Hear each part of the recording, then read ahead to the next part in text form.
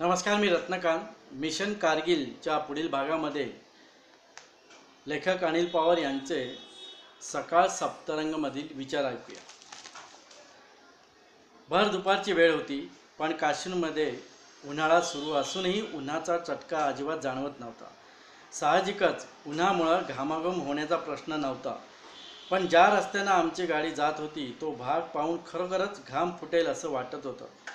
कारगिलपासून सुमारे बारा किलोमीटर अंतरावरच्या हुंदरमान गावाकडं आम्ही जात होतो.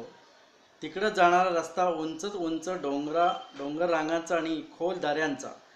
समोरच्या डोंगराकडं बघताना छाती धडकी ध भरावी आणि खाली दरीतल्या नदीकडं नजर टाकली तर डोळे गरगरावेत अशी स्थिती.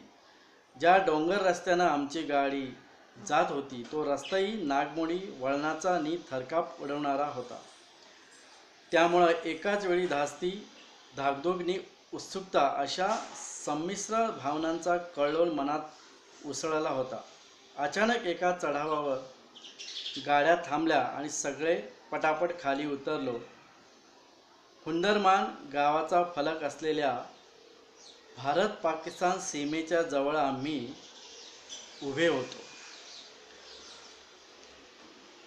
उर्वरित माहिती पुढील भागात. धन्यवाद.